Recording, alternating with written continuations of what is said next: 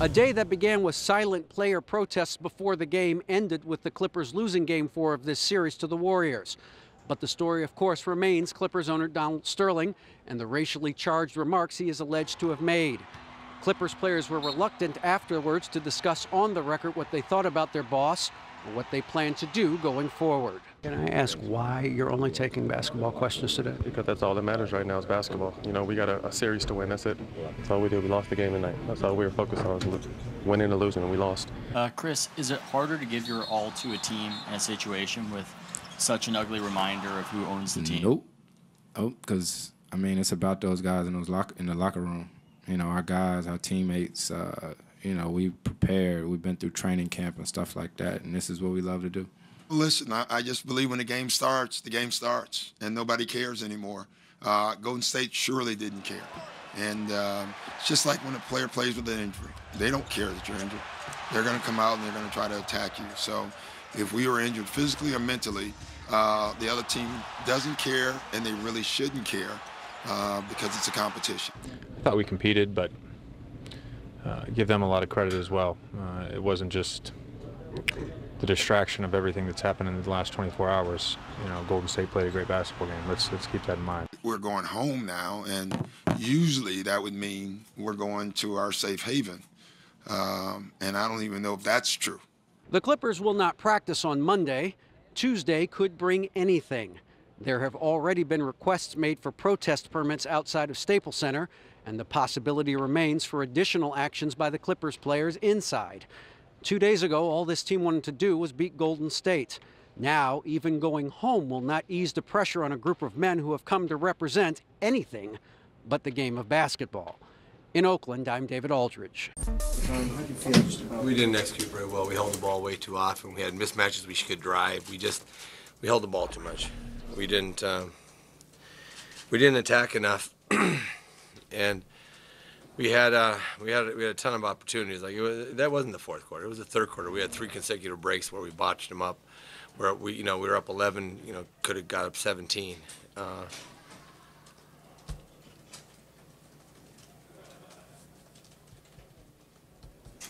games in the series so far.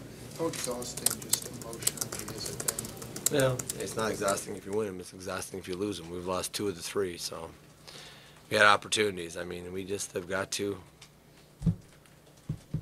you know, we've got to, we got to play our game. And, and, and again, I've said it all along, you know, we, we um, were loose balls. We didn't get some of the loose balls. We didn't get some of the little plays. And those, those plays end up, end up hurting you. I mean, at the end of the game, we have a chance to make a three.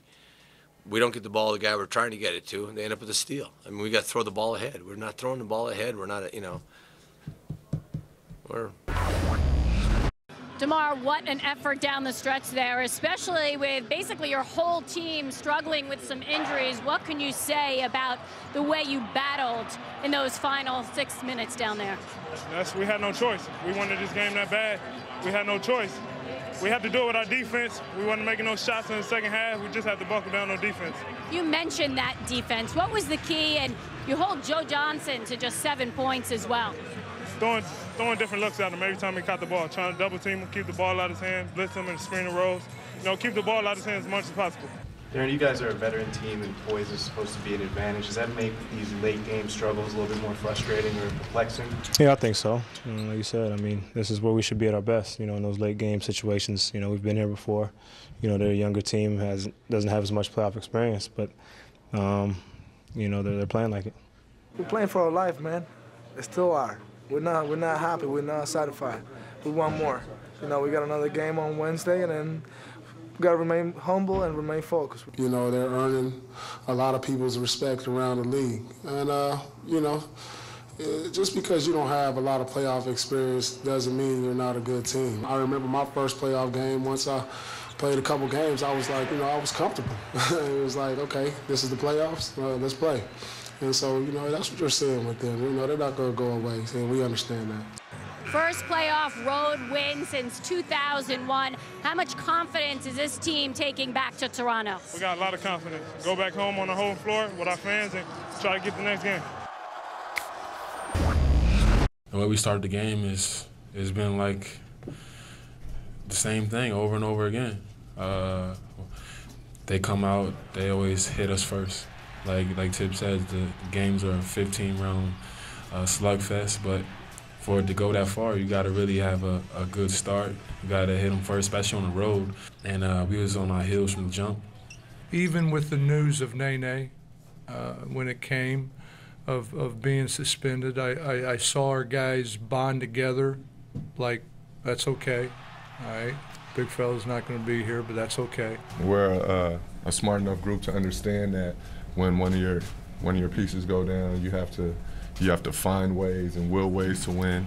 And tonight, you know, tonight was my night to to to take on the scoring load. They have a lot of weapons. The Wizards have a lot of weapons, but uh, that being said, I think they're beatable, and we just got to find a way.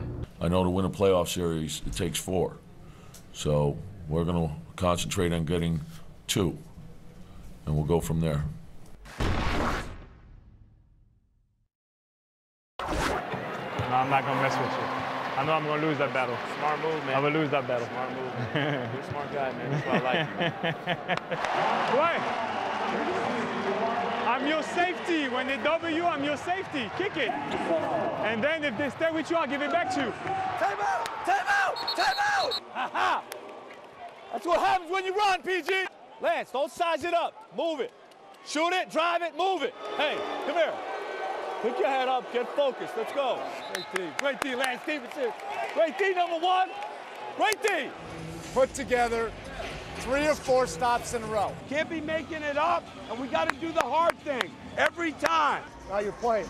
Now you're playing. A little bit of ugly. One shot defense down there. A little bit of contact. Keep driving it, keep attacking. A little bit of ferociousness. It's the freaking playoffs.